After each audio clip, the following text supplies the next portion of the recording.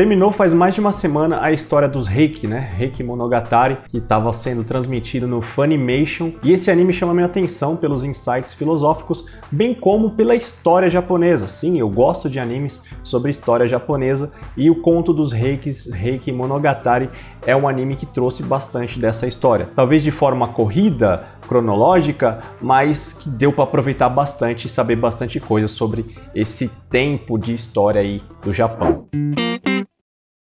E aí, Otaku, beleza? Eu sou o Max e, como prometido, estou trazendo aqui para vocês essa análise sobre Reiki Monogatari. O anime terminou e foi muito aproveitador ver esses episódios. Me emocionei no último episódio, que episódio belo, que episódio bonito.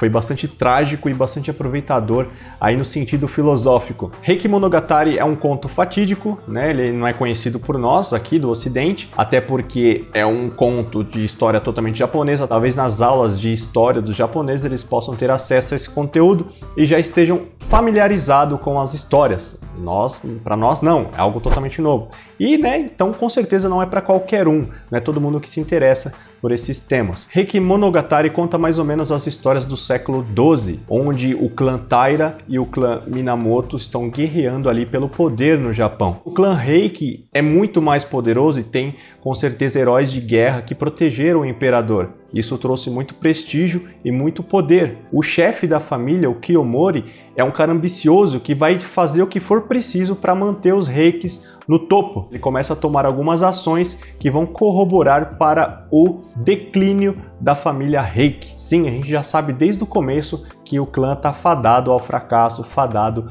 ao esquecimento. A gente vai vendo aí os personagens se degladiando, diversas guerras, acontecimentos como incêndios, né? Incêndios famosos no Japão. Naquela época, uma casa queimava, uma cidade inteira ia pro saco. É, o negócio era doideira, cara. E eles eram movidos pela guerra, né? Disputas ali entre o clã Taira e o Minamoto eram frequentes, e o imperador estava no meio de tudo isso. E também tinha a classe dos guerreiros monges. Tem muitos elementos nessa história que são bem interessantes, né? Os budistas, aquelas pessoas que fazem votos e se abdicam de suas funções. Uma coisa bem confusa de Reiki Monogatari são os imperadores. Na história a gente tem um imperador que foi enclausurado ele fez voto budista, então ele está meio que afastado ali das funções de imperador. O imperador Takakura, esse abdicou né, do trono, e tem finalmente o imperador pequenininho Antoku. Esse imperadorzinho, ele é filho da Tokuko. A Tokuko, ela é filha do Kiyomori, esse cara aí dos Reiki, né, o encrenqueiro. E ela, dando luz ao filho do imperador, com certeza é um plano de ambição do pai dela. A história pra gente no anime é contada através do ponto de vista da Biwa. A Biwa é essa menina que tem os olhos diferentes e ela conhece o Shigemori. E é interessante que o Shigemori é da família dos Reikis e ele é o cara sensato. No passado ele foi um guerreiro prestigiado, aclamado por um imperador, só que agora ele assume o papel de liderança ali na família junto com o pai dele. Ele é o cara mais sensato e ele sabe do fadado fracasso da família Reiki, o fadado declínio. Contando a história da Biwa, ela é uma menininha tocadora de Biwa, também o instrumento, e ela teve o pai dela assassinado pela família Reiki, pelos homens do Kiyomori, e ela foi acolhida pelo Shigemori. Ela gosta do Shigemori, é criada como filho, junto com os irmãos dela, né, filhos do, do Shigemori, e ela vai crescendo ali, vendo e decide contar a história dos reis. No começo, um ponto de vista até de vingança pela morte do seu pai. Depois ela pega amor por todo mundo, principalmente pelo Shigemori.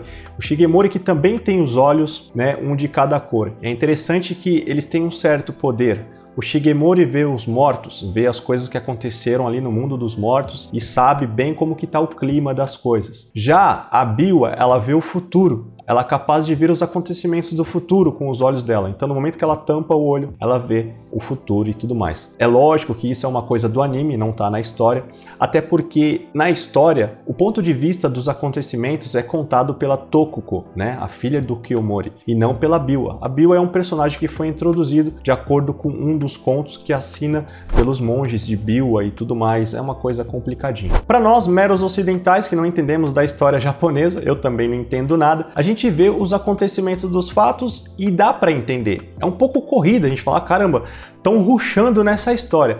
Mas não, é, todo mundo já conhece os elementos e para quem está habituado, né, pelos acontecimentos dessa história, sabe em que ponto tá cada coisa. A gente vai vendo ali, né, e vai se apegando com os personagens. Por exemplo, a Tokuko, a mãe do imperador, é uma moça que faz o papel dela, né, como mãe do imperador. O Shigemori de fato é o melhor personagem. Os irmãos da Biwa, né, os filhos do Shigemori, que vão crescendo aos poucos, tem um que tem que virar guerreiro, tem medo, é um pouco covarde na luta. Os irmãos do Shigemori seriam ali como se fossem os tios da Biwa. Eles também, cada um tem a sua personalidade. E o sagaz Kiyomori, que é um cara que, meu, ambicioso, vai fazer ali de tudo para manter os reikis no poder. E isso traz a ruína dos reis. No final, eles acabam perseguidos, destituídos do poder. Eu trago a atenção para o último episódio, desfecho. Foi trágico, foi belo. Com a queda dos reis, a gente teve ali um suicídio em massa. Viu aquela galera, desde o pequenininho até os, os, adultos, quando viram que ia perder o poder, então decidiram tirar suas vidas. Depois disso, o imperador Go Shirakawa, que fez o voto budista, ele contou que não era para acontecer dessa forma, que não era para ninguém ter se suicidado, eles só queriam os tesouros de volta, né? Os tesouros do império de volta. Será que seria exatamente isso mesmo, né? A gente vê ali orgulho, a gente vê os fatos trágicos como se desenrolaram as coisas, é meio difícil de dizer que não precisava ter acontecido aquilo. Foi bastante triste a gente ver como que o poder vai e vem e tem uma poesia maravilhosa feita contada pela Biwa, naquela trilha sonora envolvente, emocionante, e eu gostaria de ler essa trilha aqui para vocês. Eu até postei quando assisti esse último episódio e fiquei assim bastante tocado que é mais ou menos assim: os sinais do templo de Buda ecoam com o aviso de que todas as coisas são impermanentes. As flores da árvore de sal se tornam brancas quando morrem, né, quando caem da árvore. Isso é um sinal de que tudo que prospera um dia vai cair. E também os orgulhosos, poderosos não permanecem para sempre. Eles logo desaparecem como os sonhos de uma noite de primavera. E todos os poderosos da terra são como o pó que é soprado pelo vento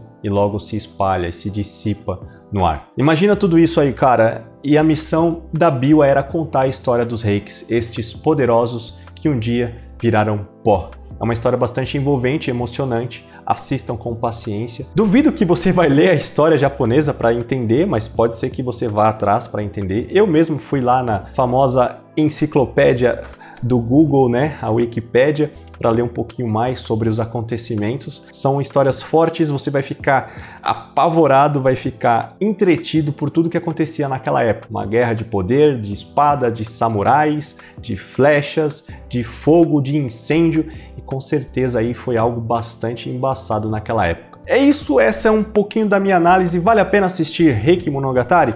Vale muito a pena se você tem esse feeling de história, animes históricos, animes que contam histórias aí sobre verídicas, histórias sobre o passado, né? Fica aí para vocês então essa análise de Reiki Monogatari. Gostou desse vídeo? Se inscreve no canal, deixa o seu like, ativa a notificação para não perder vídeo e eu vejo vocês no próximo vídeo com mais conteúdo nerd, geek e otaku, porque aqui somos NGO.